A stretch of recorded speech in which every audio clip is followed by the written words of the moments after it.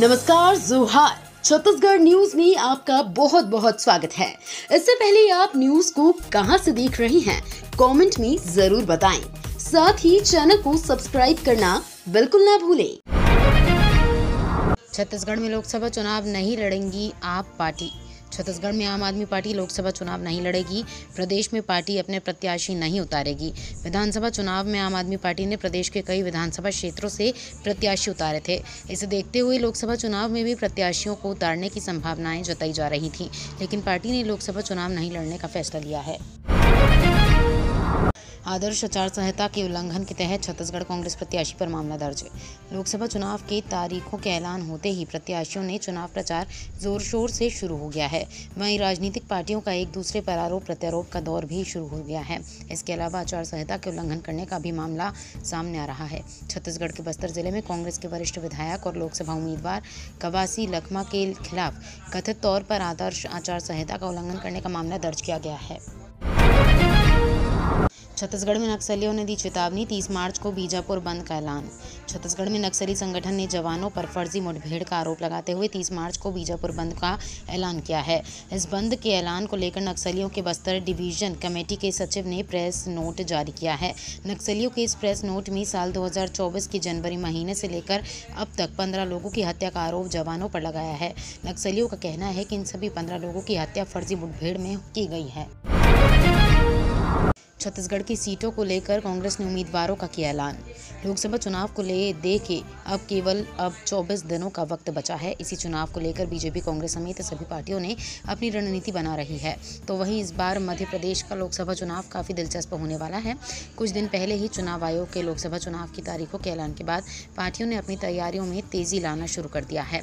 छत्तीसगढ़ की सीटों को लेकर कांग्रेस ने उम्मीदवारों का ऐलान कर दिया है। छत्तीसगढ़ में जीजीपी ने जारी की 10 उम्मीदवारों की पहली लिस्ट। छत्तीसगढ़ में गोंडवाना गणतंत्र पार्टी ने राज्य की 11 लोकसभा सीट में से 10 के लिए अपने उम्मीदवारों की पहली सूची जारी की है। पार्टी पदाधिकारियों ने ये जानकारी दी। छत्तीसगढ़ में तीन चरणों में उन्नीस अप्रैल, छब्बीस अप्रैल और सात मई को लोकसभा के लिए मतदान होगा। तथा मतगणना चार जून को होगी। पार्टी के पदाधिकारियों ने बताया कि पार्टी ने छत्तीसगढ़ की ग्यारह लोकसभा सीट में से दस के लिए उम्मीदवारों की घोषणा कर दी है। छत्तीसगढ़ के मौसम में बदलाव का दौर शुरू। होली त्यौहार के बाद छत्तीसगढ़ के अधिकतम तापमान में बढ़ोतरी का दौर शुरू हो गया है। बीते दिनों हुई हल्की बारिश के बाद छत्तीसगढ़ के मौसम का मिजाज बदला हुआ है। प्रदेश में धीरे धीरे गर्मी से राहत अब समाप्त होने वाली है। आने वाले दिनों में अधिकतम तापमान में बढ़ोतरी होगी, जिसकी वजह से राजधानी रायपुर समेत पूरे प्रदेश में गर्मी बढ़ने वाली है। होली मनाने पहुँचे ग्रामीण को हाथी ने कुचलकर मार डाला। छत्तीसगढ़ के बलरामपुर ज़िले में जंगली हाथी के हमले में एक ग्रामीण की मौत हो गई है। अधिकारियों ने बताया कि ज़िले के राजपुर वन परिक्षेत्र के अंतर्गत नरसिंहपुर गाँव के करीब जंगली हाथी के हमले में राम सूरत गोड़ की मृत्यु हो गई। जब वो अपने गाँव वापस लौट रहे थे, तब रात लगभग 11 बजे नरसिंहपुर गाँव में नदी के करीब एक हाथी ने उन पर हमला कर दिया। इस घटना में गोड़ की मौत हो गई। दो तक भारत बन पाएगा विकसित राष्ट्र। रघुराम राजन ने दिया जवाब। मोदी सरकार द्वारा दो तक देश को विकसित बनाने का लक्ष्य रखा गया है। इस पर आरबीआई के पूर्व गवर्नर ने कहा कि इंडिया साल दो तक विकसित देश नहीं बन पाएगा। मज़बूत आर्थिक विकास को लेकर जिस प्रकार का प्रचार किया जा रहा है, उसे लेकर भारत बड़ी गलती कर रहा है।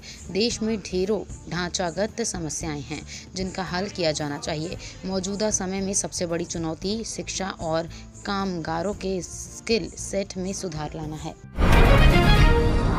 इसरो ने हासिल की एक और बड़ी उपलब्धि। इसरो ने एक और मील का पत्थर हासिल कर लिया है। भारत के सैटेलाइट पीएसएलवी ने शून्य कक्षीय मलबा मिशन पूरा कर लिया। इससे फ़ायदा ये होगा कि अब इसरो नए मिशन के लिए जो भी रॉकेट लॉन्च करेगा, उसका मलबा अंतरिक्ष में नहीं बिखरेगा। इसरो ने इस मिशन को ऐसे समय में पूरा किया है जब दुनिया भर के वैज्ञानिकों के लिए अंतरिक्ष में मलबा एक बड़ी चुनौती बना हुआ है। रेल यात्रियों के लिए खुशखबरी यूपीआई से झट से बनेगा टिकट। रेल यात्रियों के लिए सरकार बड़ी सौगात लेकर आई है। दरअसल, एक अप्रैल से रेलवे जनरल टिकट की पेमेंट के लिए भी डिजिटल क्यूआर कोड का इस्तेमाल कर सकते हैं, जिससे कि यूपीआई के ज़रिए भी आप अपना जनरल ट्रेन टिकट खरीद सकते हैं। क्यूआर कोड स्कैनिंग डिवाइस ने आसान की भुगतान सुविधा सफल रहा। प्रयोग। रेलवे ने कैशलेस सुविधा में एक और कदम बढ़ाया है। जोनल स्टेशन स्थित यूटीएस के साथ नंबर काउंटर में क्यूआर कोड स्कैनिंग डिवाइस लगाई गई है। रेलवे की सुविधा ने भुगतान व्यवस्था के आसान कर दिया है। अब धीरे धीरे सभी काउंटर और मंडल के अन्य स्टेशनों में भी इसे लागू करने की तैयारी की जा रही है। डिजिटल टिकटिंग मोड को प्रोत्साहित करने, सेल्फ टिकटिंग को बढ़ावा देने तथा यात्री कतारों की परेशानी का सामना किए बिना टिकट खरीद सकें। बस्तर से भाजपा प्रत्याशी महेश कश्यप ने किया नामांकन। छत्तीसगढ़ की बस्तर लोकसभा सीट से भाजपा उम्मीदवार महेश कश्यप ने नामांकन दाखिल किया। हालाँकि उन्होंने अभी एक ही फॉर्म जमा किया है। कल यानी बुधवार को मुख्यमंत्री विष्णुदेव साय की मौजूदगी में दूसरा सेट दाखिल करने के लिए पहुँचेंगे। भूपेश बोले, बैलेट पेपर से चुनाव हुआ तो कांग्रेस जीतेगी। छत्तीसगढ़ के पूर्व मुख्यमंत्री भूपेश बघेल ने सभी कार्यकर्ताओं से लोकसभा चुनाव के लिए नामांकन दाखिल करने के लिए कहा है। उन्होंने कहा कि अगर एक सीट से तीन पिछहत्तर से अधिक प्रत्याशी हुए तो वहाँ चुनाव ईवीएम की जगह बैलेट पेपर से होगा। ऐसे में कांग्रेस की जीत निश्चित है।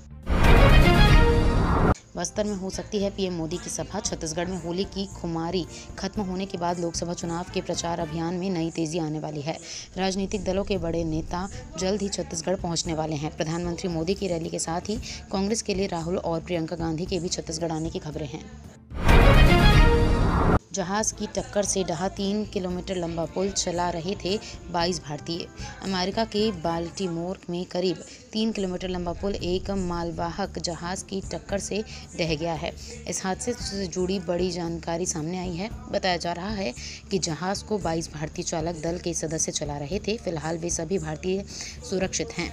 बाल्टीमोर पुलिस ने कहा है कि इस बात के कोई साक्ष्य नहीं है कि जहाज़ ने जानबूझकर इस फ्रांसिस स्टॉक की ब्रिज को निशाना बनाया जाँच जारी है। ये तो थी आज की बड़ी खबरें। अगर आपको न्यूज़ पसंद आई हो तो वीडियो को लाइक और शेयर करना बिल्कुल ना भूलें। धन्यवाद।